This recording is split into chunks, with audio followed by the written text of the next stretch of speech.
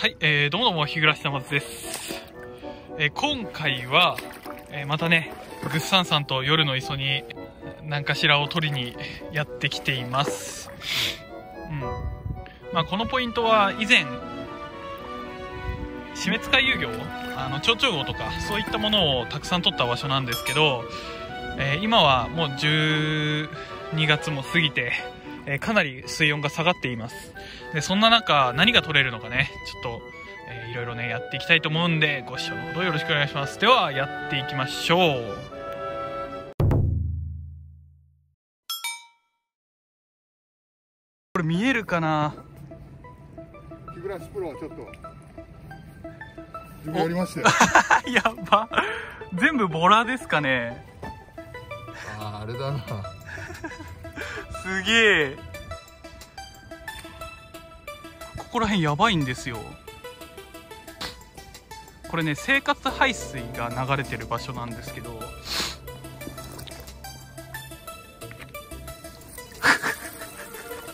これはすごいな。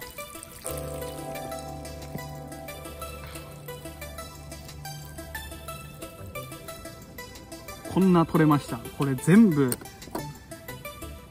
全部ボラ。結構汚いところなんですけどすごいですね。めっちゃ泥臭そうです。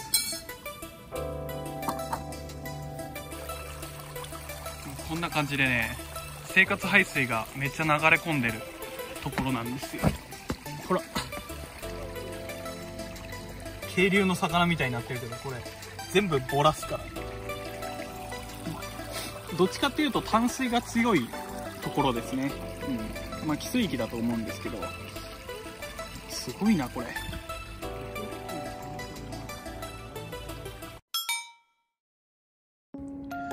これ、めっちゃ面白いの見つけましたよ。クモヒトデの超でかいやつ。ちょっと観察ケースに移してみましょう。はい、これ、クモヒトデですね。めちゃめちゃでかいっす。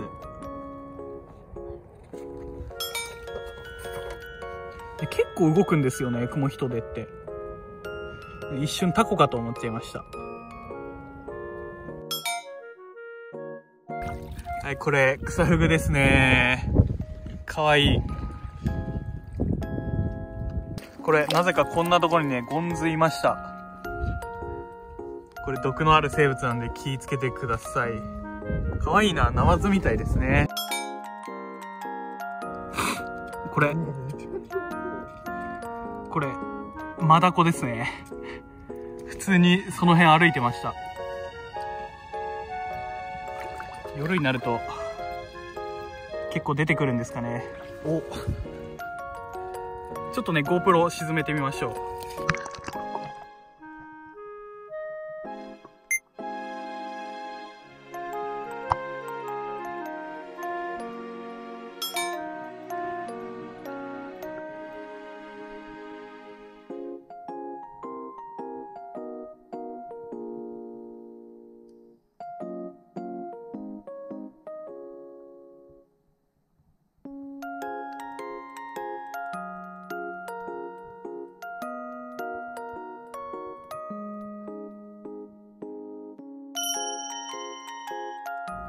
この辺でタコをね、あの、発見するのは初めてだったんで、ちょっと驚きましたね。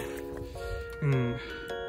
しかし、なんか今日は本当に、これ、アメフラシ。アメフラシが、もうそこら中にいるんですよ。なんか産卵期なのか、ちょっとわかんないんですけど、すごいですね。なんかいつもと違う感じがします。大物ね。これないかなうわ、何これ。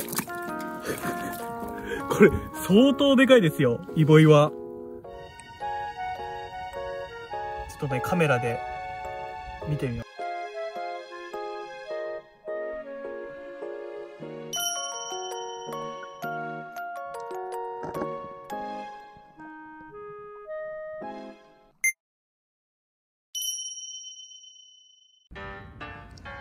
うん。全然見つからなくて、今1時間ぐらいね、ずっと散策していたんですけど、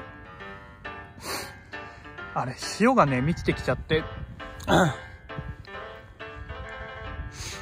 だいたいここで、えー水深1メーターぐらいあるんですよ。さっき多分30センチぐらいしかなかったと思うんですけど、うんやっぱ夢中になってるとね、結構危ないですよね。1メーターとかでも、胴長だと、ちょっと怖いんで、水入ると終わっちゃうんで、なかなかね、今回は厳しいガサガサになってます。これ、大量のボラかな？うん、相変わらずね、ボラばっかり。うん、ボラはいるけど、それを食べるフィッシュイーターとかはなかなか会えないですね。えあれからね、1時間ぐらい魚探してみたんですけど、うんなかなかね、珍しい生き物がいませんでしたね。結構潮も見て、満ちてきちゃって、えーそろそろ終わりかなっていう感じなんで、うん、ガサガサね、終了したいと思います。今回はなかなか、まあ、タコだったりとか、あとは、ボラ？とかカニ？とかの、もう結構ね、寂しい感じの結果になっちゃいましたね。えー以前ね、ここ来た時は、えーウツボ、トラウツボだったり、あとは、チョウチョウゴなど、まあ、いろんなね、魚が取れたんですけど、まあ、今回はね、そう、うまくはいかず、えーかなり厳しい結果になってしまいましたね。うん。まあね、今日、中潮ってこともあるんで、えー次回はね、大潮に来て、で、がっつり潮が引いた状態で、えーまあ、ウツボなり何なりを、え採取できたらなと、え考えております。はい、えーではご視聴ありがとうございました。またのご視聴よろしくお願いします。さよなら。バイバイ。